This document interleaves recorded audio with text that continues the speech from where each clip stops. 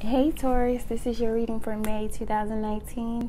Um, if you were drawn to the title and how you feel and your issue with them matches these two, which I'm going to clarify all these and I'm going to do a second three card spread after I clarify all these. Yeah, what did I say? Clarify all of these. But, um, okay, let's get started. Y'all know this is for you after these two, like if it's for you or not. Um, so if this is for you, how you feel towards them is this is the lovers. I only pulled the first cards for time's sake. But this is the lovers. So you feel like this is with how I mean the lovers could mean you have choices, but I don't see that. I don't get that right now. I see this as like a very revered or like sacred, protected union. Like this is what you see this as. Sacred, guarded, like see the two lions over here. The pillars like you definitely feel like you two came together for a bigger purpose, like you were led together by a higher power. But let me clarify all these. But your issue, hold on, before I even clarify your issue, is like you're not really impressed with what you're getting from them. Like, he just looks not impressed. And it's the Seven of Pentacles, which is about waiting for a return on your investment, waiting to see something back equal or greater than what you put into a situation. But the United Force is the Nine of Cups, so for both people, being on the same page with each other would be like a dream come true. And that's for both people because this is the energy um, crowning the union in May. Okay, let me clarify all of these stuff.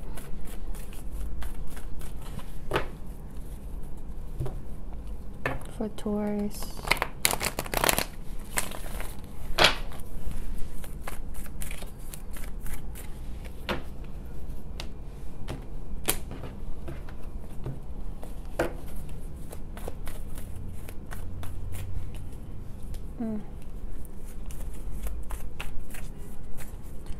Please, Spirit, elaborate on how Taurus feels for this person, the issue with them, how this person feels for this Taurus, their issue with Taurus, and the crowning energy.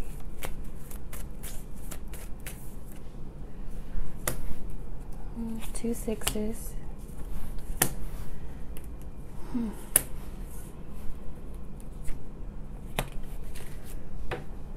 Okay.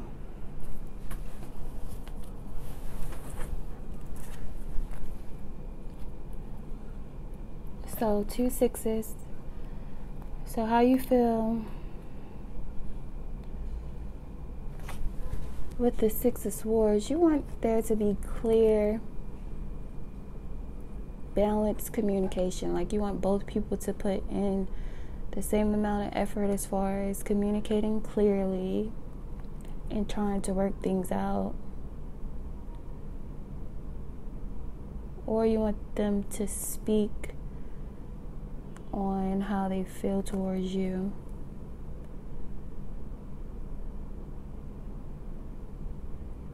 Or be more positive in your conversations. I'm not sure.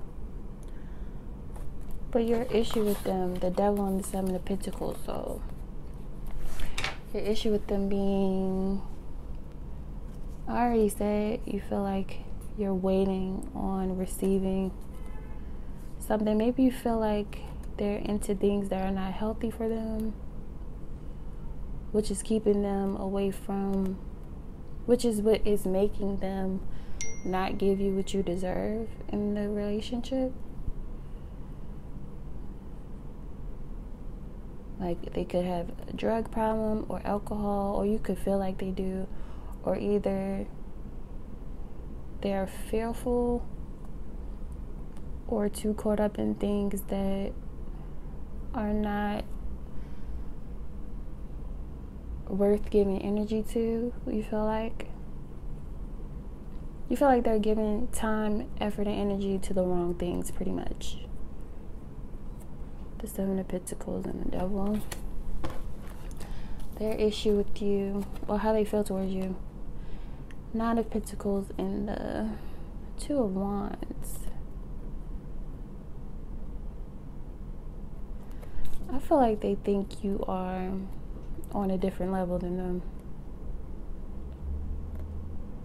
Maybe out of their league.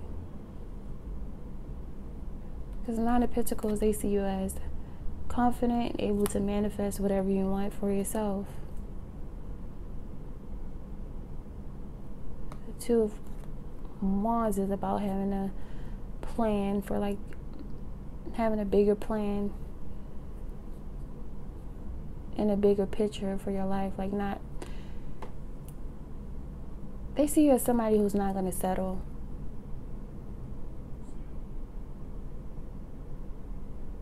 Somebody who, like, they would have to get with your way of doing things, or, like, it's not going to work.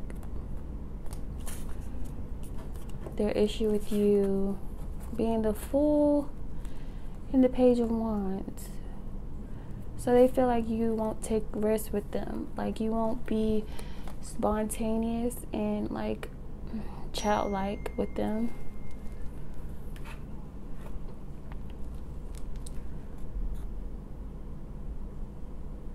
They want you to be more playful, maybe more sexual, or just like do more exciting risky things with them. I'm not gonna keep repeating myself, so I just feel like it's something else, but I keep getting the same thing because I'm. Um, it's just two cards. Crown of energy, like I said, I already said with the nine of cups means, but with the eight of pentacles, I feel like it's both people see that you both have to put in a lot of work and dedication will show their dedication through actions and time, like over time, in for in order for this to be like the dream relationship. But both people wouldn't want it more with anybody else right now. But both people see that there needs to be some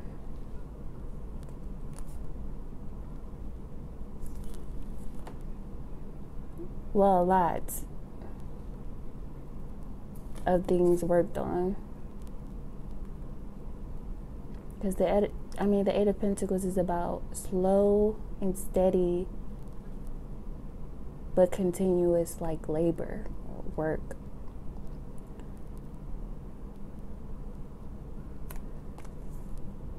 So um, let me do this past, present, future spread for this situation. Well, it's going to be the past, the, how this person expressed their feelings towards you in the past, in the present, and in the future if the energies continue, I mean, continue the way that they are.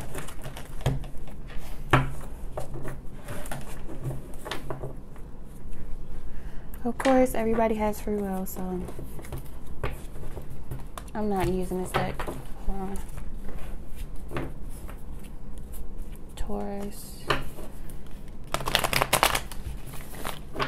This person expresses their feelings for Taurus in the past, present, and future. Wow. Oh my gosh.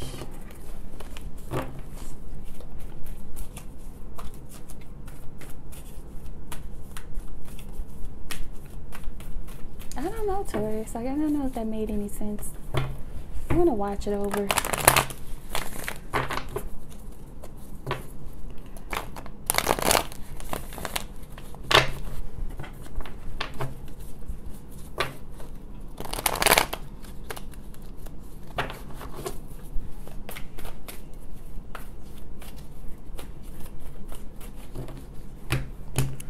Like I just did that. Taurus. Okay, this flipped over, so okay, pass. Present.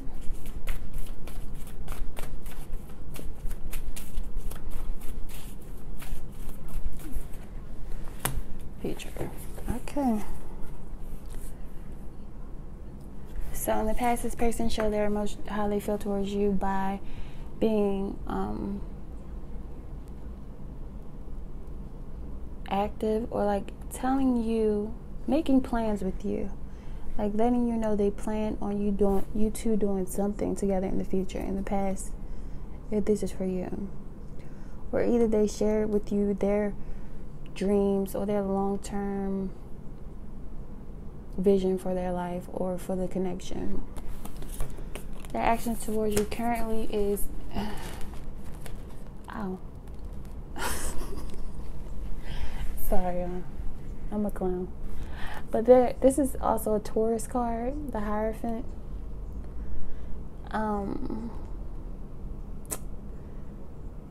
so this is about commitment or dedication to a certain way of living it could be about church or being dedicated to not going to church or like being dedicated to the occult or whatever a person chooses to dedicate their life or the way that they act in life to. Or it could be about someone being stubborn and stuck in their ways like so that's how they could be acting acting towards you maybe they don't want to compromise right now, or either they said they want to commit to you, or they're showing their commitment to you. One of those things. In the near future, their actions or the way they show their emotions towards you will be the Seven of Pentacles, which is like not up to par. Like, Seven of Pentacles is maybe they'll be waiting on you waiting to see what moves you make or what you want to do in the future.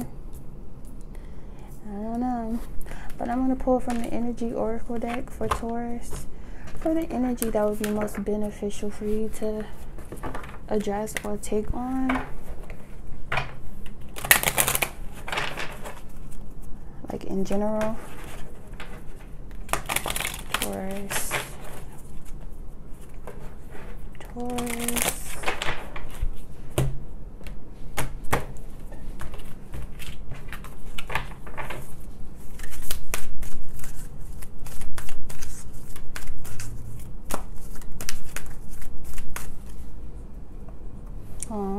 Patience.